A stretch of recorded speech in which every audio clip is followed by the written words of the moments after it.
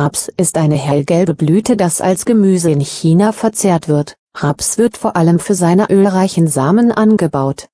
Das ist die drittgrößte Quelle von Pflanzenöl in der Welt, und der weltweit zweithäufigste Quelle von T-Protein. Raps produziert große Mengen an Nektar, das zu Honig von den Honigbienen umgewandelt ist.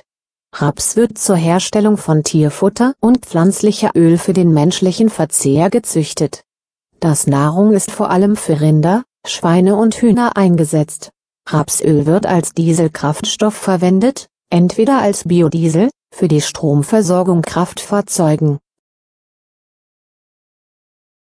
Die Weltproduktion wird geschätzt 70 Millionen Tonnen pro Jahr. Die größere Anbauländer sind die Europäische Union, Kanada, den Vereinigten Staaten, Australien und China.